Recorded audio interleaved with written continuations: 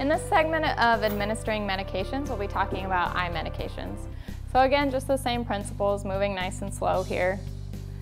So again, I'll come here and just gently open up her eye and lay my hand gently here. Again, the needle not angled towards her eye. Even though the needle is off of this, there is still a sharp tip and you can damage the eye if she were to run into it.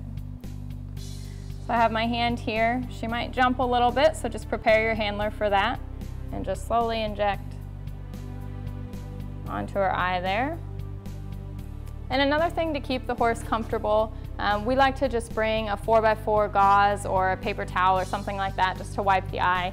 As you can see, she's just got a little bit of discharge here, and especially when their eye's diseased, sometimes they can have quite a bit of discharge, which will make them uncomfortable.